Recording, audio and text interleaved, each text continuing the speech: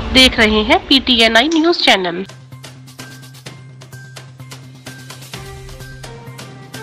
हरिद्वार ब्रह्मकुट के पास ट्रांसफार्मर पर आकाशीय बिजली गिरने से बड़ा हादसा।